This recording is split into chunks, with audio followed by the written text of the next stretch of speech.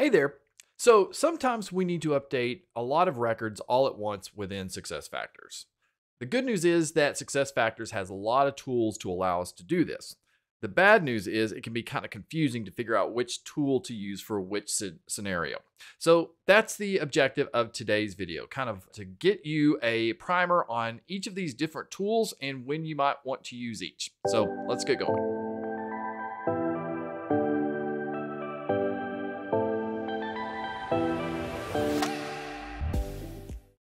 Okay, just a couple of things I want to say up front. Number one, this video is a product of a lot of research I have done. I have worked with all these tools over the years, but I've never really sat down and truly tried to figure out what the benefits and drawbacks were to each until I did this video. So this video is a product of that. Secondly, normally I would go in and I do a lot of demos in these videos and I'm just going to go through a presentation today and instead I'm going to link to all of the other videos I have done, some of which have been published, some of which are going to be published that allow us to go through and do the demonstrations in those linked videos. That's the plan for this video. So we're just going to go through some presentations. I'm going to give you my thoughts and send you on your way.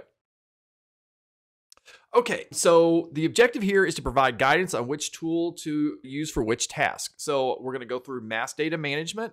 We're going to go through mass changes from metadata imports. We're going to go through file imports, mass updates, the employees version of that, and then mass, or excuse me, employee file import. So I'm going to go through each of these and give you my pros and cons. And then at the end, I'm going to give you my recommendation of which ones to use under which scenario. Okay, mass data management. So this is the simplest tool. And basically what it allows you to do is you can select positions using the position attributes and then do updates in mass. And then the changes propagate to employee job information. This was actually the first video that I ever published was on mass data management. So it is near and dear to my heart, but it does have some benefits and some drawbacks. So let's go through those right now. For the pros and cons of mass data management. So the pros are it's simple and it's intuitive. It's also the newest tool. So why is that a benefit? Benefit. When SuccessFactors goes to the trouble of investing in something and building it out, that means that they are probably planning on enhancing it, and really you should be kind of biased towards using that tool. So that's what I would kind of recommend in this case is think about just continuing on and using this one.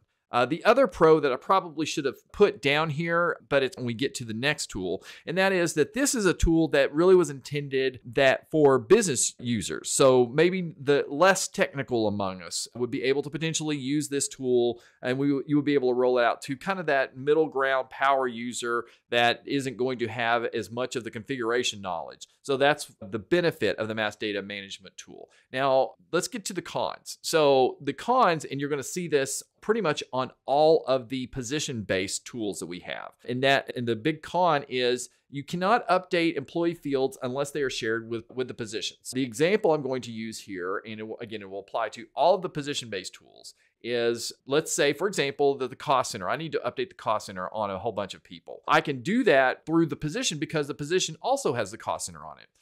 But let's say that I need to do a mass update of work schedule. And let's say that I'm an organization where I'm not going to try to keep up with the work schedule and store that on the position. I really just want to store that on the employee. So for that field, of course, I would not be able to go through and use a position based tool to make the change to the work schedule because the work schedule doesn't exist on the position. So, therefore, we would be needing to use another tool for that. So, again, that is the big drawback on any of the changes that we want to make for a position based tool for mass update. The other con that we're going to get to here is it really doesn't handle complex criteria. And uh, this is really in contrast to the next tool that we're going to talk about. So bottom line for this one is if you've got a you've got a group of positions and those positions all need to be updated, then this and, it, the, the criteria is pretty simple. I would definitely lean towards using the mass data management tool. Okay, Next one is mass changes for metadata objects. So this one existed before mass mass changes or the mass data management tool. But I, what I suspect happened here is that some customers came back to SAP and said, this is a little too complicated for some of our end users. Can you give us more something simpler? So that's where the mass data management came from. But the mass changes for metadata objects actually is more powerful and it gives you more options. So it's eh, so again, it's similar to mass data management, but the, it really the difference is it uses business rules for determining what kind of who all what all kinds of positions need to be updated and what kind of attributes need to be updated on the position. And uh, so and it's very similar to what happens on mass data management. And i guess i probably didn't make this point clear enough on mass data management but whenever i make changes to these positions they will the changes will update onto the employee's record. So that's the big benefit here. So it again it allows us to make changes on the position side have them flow through to the employee Okay, so mass data changes the pros and cons here. So again, can handle really it can handle any the criteria that can be expressed in a business rule. So this can if you can come up with an if then statement to based on the attributes of a position, then this is the tool for you because you can build this all out and it, it will allow you to use those those uh, complex criteria. The cons are you cannot update, again, the same thing I'm going, I said before, you cannot update employee fields unless they are shared with a position. And then it also requires good knowledge of business rules. So you really, this is a really powerful tool and it could be, a, in theory, a dangerous tool if you didn't know what you were doing. So this really would be a tool that a smaller subset of within your organization would have access to. So again, very powerful, very useful in certain use cases, but you would not be something, uh, this would not be something you would roll out out widely within your organization.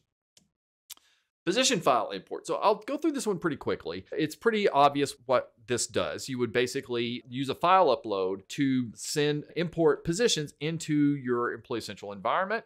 Um, if you also add this field here, technical parameters, and you, see you see they got the little red box around it. If you have this set with the word sync in it, then the change can be get propagated down to the employee. So it doesn't, by default, it doesn't automatically, I update a position, it does not automatically synchronize the change down to the employee. But if I put technical parameters and put sync in there, then it will push that data down. Okay, so let's get into the pros and cons of position file load. So the pros are number one, full flexibility of which positions can, can be imported. You're not just related to, it's not not just limited to whatever you can come up with in a business rule. You can literally cherry pick whichever positions you need to update. The other thing that I want to note here is that this is the only way that you can really mass import new positions. And if you want to do a whole bunch of positions with a whole bunch of different job titles all at once, this is the tool for you. So those are the positives for position file load. The cons are you, and we're going to see this when we get to the employee file loads, but with employee file loads, I can justify which fields I'm actually updating and I can populate only those fields. For positions, I actually have to populate all of the fields on the position, even if I'm only changing one of the fields on the position. So that can be a kind of a pain. And there's you'll have to come up with some sort of reporting tool or something like an integration center job that you can use in order to download and extract the current values for that. You also, again, beat a dead horse here, but you cannot update employee fields. You cannot use this as a tool to update employee fields if the field on the employee side is not shared with a position. Again, the work schedule. And then, of course, whenever you're talking about file maintenance, this can be tedious, especially if you're in, particularly in the case of updating positions. It can can be a lot of fun trying to figure out if you're changing people's managers around, you actually have to go through a little bit of an extra step in order to figure out who the positions, uh, who's the manager, what the manager's position is, and then be able to update the file load with that manager's position so that you can keep the org structure in in in sync or reflected accurately. So it's this one's a little bit more of a pain. It's probably about the most tedious of the tools that we have to work with. So that's that's what the, the pros and cons are of the position side. Now, what we're going to do is we're going to talk about the tools available on the employee side. So, the one tool that we're going to talk about first is the oldest tool of all, and that is manage mass changes. This is on the employee side. Um, and so you can see here, you just basically go in I can do direct updates for the employee. I can, and I use dynamic groups, which of course you, you should be familiar with if you are involved in all with permissioning or anything like that. Dynamic groups are a way that you can use attributes of, of that employee in order to identify wh- which employees you want to include in, in your grouping that you want to have updated. And then the good news is if you have everything set up properly, then the changes that you make on the employee side will synchronize back to the position via reclassification, with one major exception that we will talk about here in a second. Okay, mass updates, pros and cons. The first one is it's really pretty simple and intuitive. This has been around, as I said, for a long time. It predates probably it, it, predates position management for that matter. And so it's it's pretty simple. You just you can just identify which fields you're updating. You identify what your event reason and your effective date is and you can make the updates happen. The cons here is that the manager changes. If you have, if i change a manager as part of a mass update those changes, at least in my testing, did not update back to the leading positions. So, in other words, if I make a change to the manager, if I change for everybody in a certain department, I update their manager to Sue Smith, that even though the employee side is going to get updated, with that new manager re- relationship that doesn't mean that the that the corresponding positions are also going to synchronize and be updated to sue smith's positions and then the other con, and then a thin, but dynamic groups can be a little bit more complex to work with. You know, that is something that may take a little bit more training in order to figure out wh- whether to use the how to use the includes and excludes and, and, things like that. So that's what I would say for mass updates. But again, this is a really nice tool, and it can do some do some pretty powerful things as long as you don't need to update the managerial relationships. Okay, and then file import for employee. So this one's a really useful tool. So the great thing about file imports for employees is you only have if I'm just updating just a couple of fields, then what I can do is I can put and you can see some examples here. I can put no overwrite into the fields that I just want to populated with what was already there on the employee's record. So that makes the process a lot simpler. And to go even further, you don't even if the field is not required and you're not updating it, you don't even have to include it on the load file. So it's only the required fields that even need the no override. I, if it's just, if you have 20 fields that are optional, that are not required in your job information, for example, and you want to, and you want to just hide those and you just want to keep the values that already exist in those fields, guess what? You don't have to do anything. You can just delete those from the load file and then the old values or the existing values will stay with that with that employee's record. So that's pretty makes it pretty powerful and pretty useful tool. So the file loads pros and cons. Similar to what we said about the position file uploads, you've got full flexibility of changes. You don't have you can cherry pick throughout the organization whichever employees need to be loaded. Of course, it's just a file load. So it's it's pretty simple. And then of course with the no overwrite, you can focus on only on only those fields that truly need to be updated. All the other fields you can pretty much leave alone. And then the big con here is, of course, similar to with the positions, working with external files are more. This is more labor intensive and prone to error. So, of course, when I open up a file, it, it, there's a risk that I might drop the leading zeros. U, Unicode can be a problem. So, I've got a video, of, of course, that where I talk about using OpenOffice. That's my re, that's my tool that I use in order to make sure that I keep the data structured the way that it should go. So, that's the main thing I would say. And and so, of course, anytime you're dealing with files, it's a little bit more labor intensive because you're not just saying, okay, I need uh, everybody of a certain type of position or mass mass update tool where I'm just saying everybody that's in this certain that, that's in a certain department, I, I want these three things to happen to them. It's just always just a little bit more work, but it's highly flexible. Okay, so we've made it through the pros and cons for each of these different tools. So what I'm doing here is I'm going to kind of bottom line it for you about which tools to use under which scenario or under which conditions. So I'm going to kind of walk through this slowly and hopefully by the end it will all make sense. These first couple I, there's a lot of there's a lot of nuance to it so hopefully i can and talk you through it. Number one if the change involves an update to managerial relationships so in other words if i'm changing the manager that tells me right away i can't use the employee mass change tool that we talked about. Uh, and if i'm making a change to managerial relationship but no change to any employee based fields not shared with a position. So again, in our example, the work schedule. So if I'm not in, uh, if let's say that the work schedule was not something that was on the position, eh, but I'm not updating that, I'm only updating fields that are shared between the position and the employee, and I have just really simple criteria.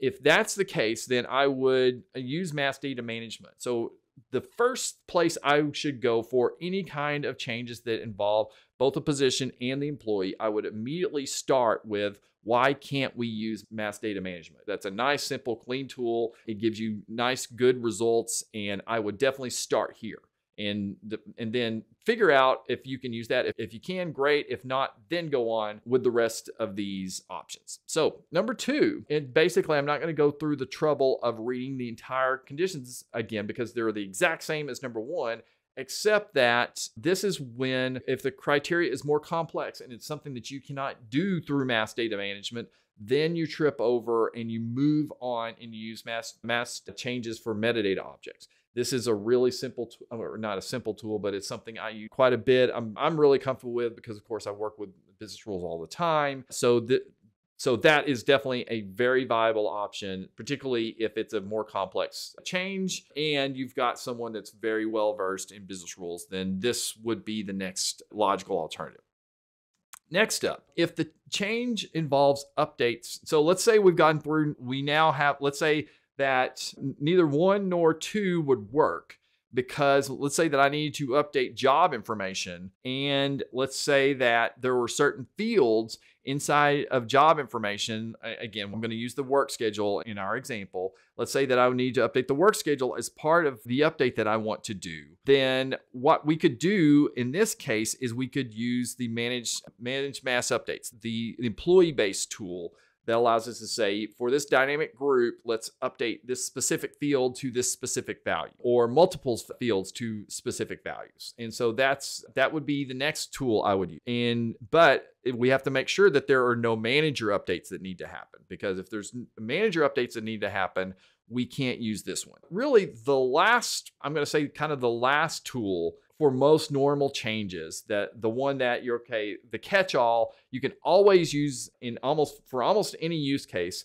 When in doubt use employee data file loads. And so what that allows you to do is you can update any field on job information any field including manager updates. All of those can be done via a employee file load. And so that those changes will sync back over to the position. And I'm going with the assumption that most of the time when you have mass update changes that need to take place, there and the change happens on the employees, that's going to take care of whatever changes need to happen on the position side. So this is really kind of to me the safe harbor tool. When in doubt, you can use this tool as long as you have everything set up properly. Those changes that you make on the employee side will synchronize back to the position. So again, nice. If you're when in doubt, use employee file loads. That's the, the, what I always tell my customers.